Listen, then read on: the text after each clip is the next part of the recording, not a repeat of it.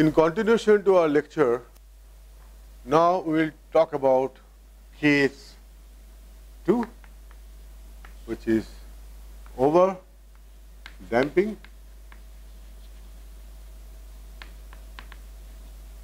Remember that is the case where c square is greater than 4 mk.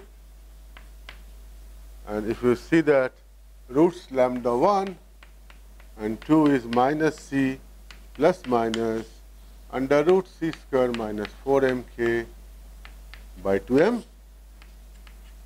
So, if c square is greater than 4 mk, then naturally this is positive, no complex part. Now, you could see that both lambda 1 and lambda 2 will be negative.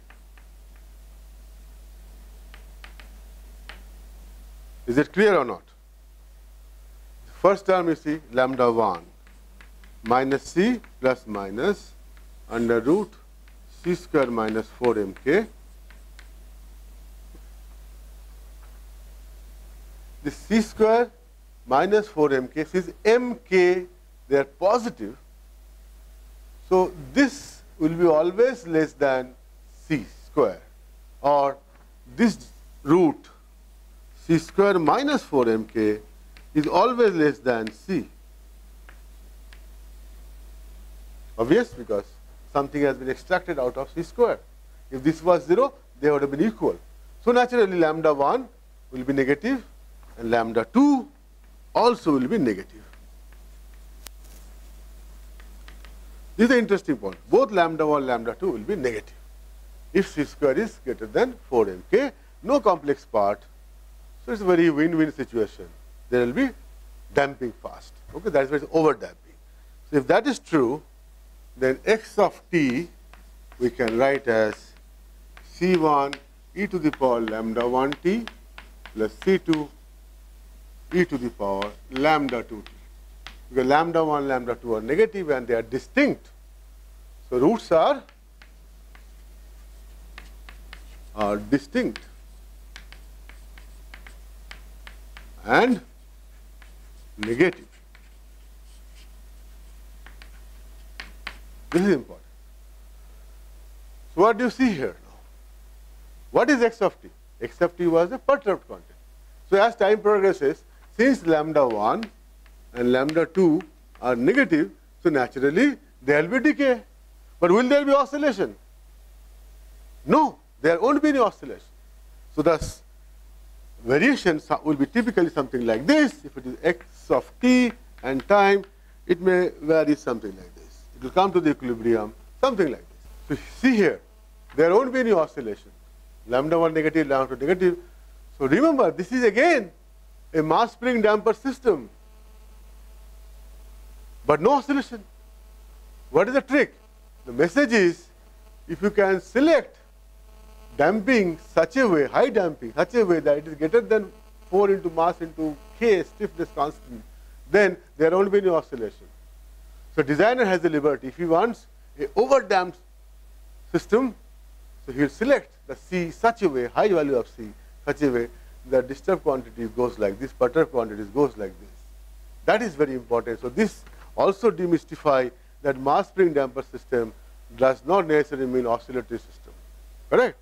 And designer has so much of liberty depending upon what sort of a response he wants, he has to select the value of C, M and K. Is it clear? Okay. Now, under damping over, over damping is just over. Now, what comes to your mind? It's obvious. You will be more interested in the boundary between under damping and over damping. And that is our case 3.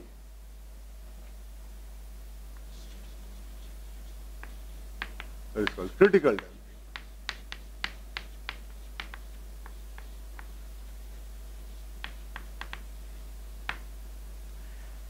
Before I come to this, let me take you back to the physical situation. What did we realize? We realized that you have to select the value of C, M and K to ensure or to get whatever you desire as an oscillatory response or a overdamped response. You have to select C, select mass, and select the value of stiffness. If I want to translate this to aircraft, C will be translated to CMQ, pitch damping derivatives. K will be CM alpha. What I am discussing is, we know that if I want to get a particular type of response, let's say we want to over damped response, then C square should be very high compared to 4mk, or C should be very high compared to mk and this product. So if I translate this to aircraft, C means my pitch damping derivative CMQ, and K means CM alpha, and M could be IY bar in longitudinal case. So that is how we are building a relationship between the understanding through mass spring damper system to aircraft longitudinal motion. That is why we are spending so much time on this. Now let us come to the critical damping case, case 3, where you know lambda 1, lambda 2 is minus c plus minus under root c square minus 4mk by 2m. For critical damping, you know that c square equal to 4mk. This is critical damping.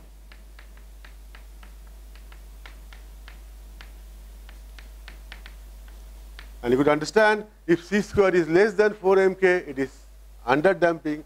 c square greater than 4mk, it is over damping. So c square equal to 4mk is the boundary which separates under damping and over damping. And this is also termed as critical damping. And you could see here, it has a roots, it has roots which are repetitive in nature and they are minus c by 2m, minus c by 2m. And you know if you, the solution for this roots for this differential equation because it has a repetitive roots, so we'll write x of t as e to the power minus c by 2mt into c1 plus c2 into t. Carefully observe this. One can think of as time is increasing, this may diverge, see here, this is exponential. So this decay will be faster compared to the increase because of time. So this also will decay very fast. In fact, you'll see that this response is the fastest response among the all the three. It takes shorter time to come back to the equilibrium. Okay. We'll see that. And uh, it is also said that it is the fastest return of the system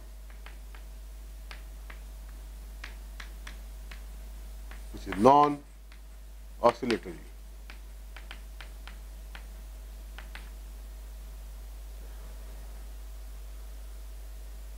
So what is the message? Message is if damping C is less than C corresponding to this critical damping, then it will be under damped case. If C is more than this critical damping, it will be over damped case.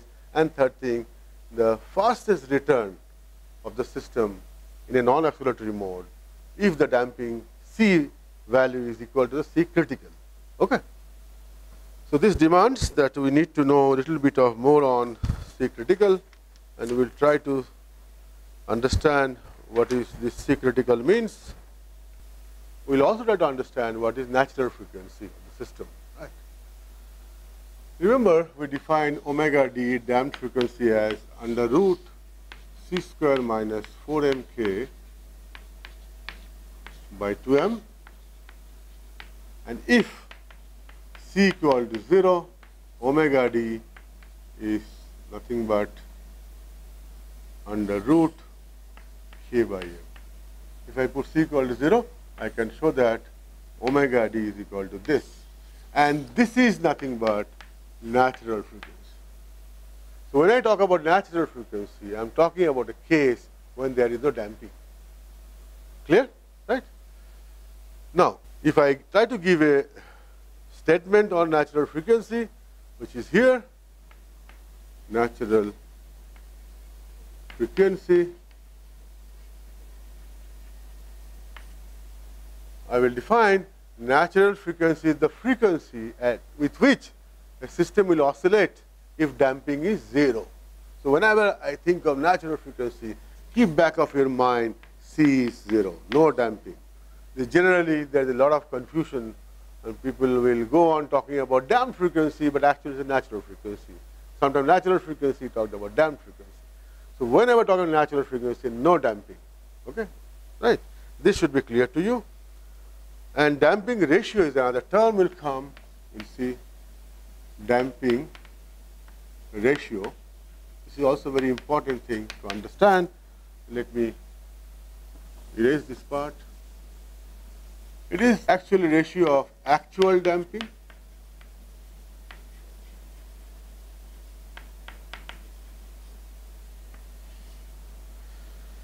by critical damping.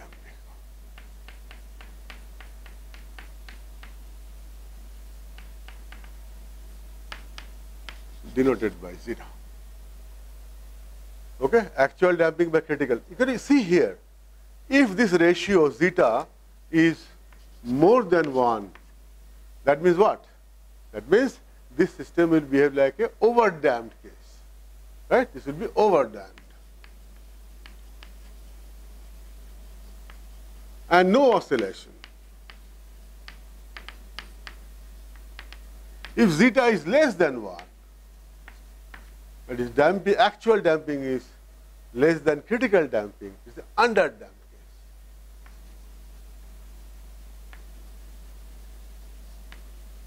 Under damped case, so there will be oscillation. And of course, it goes without saying if zeta equal to 1, again there won't be any oscillation and it will have a fastest return, no oscillation and fastest return to equilibrium.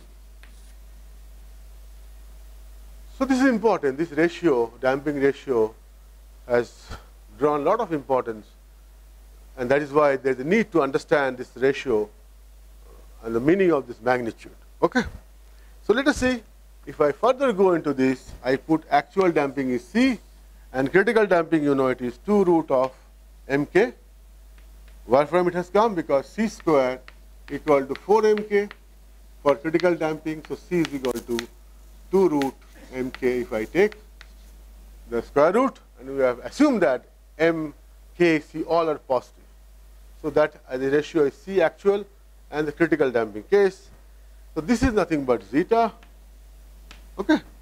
Now let us see. We also know omega n is under root k by m.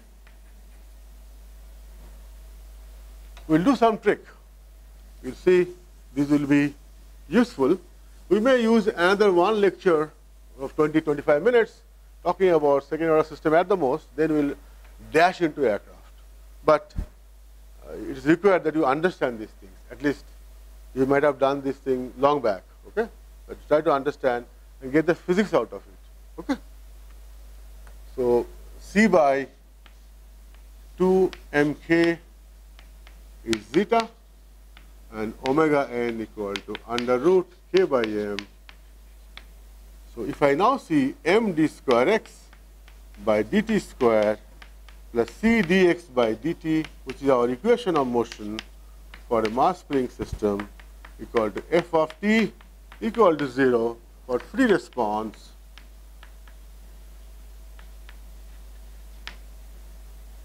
Please understand, I have used this uh, term equation of motion. This, when I write m d square x by dt square plus c dx by dt plus k of x, it has come from that force balance, right? Newton's first law. So this is will be referred as the equation of motion.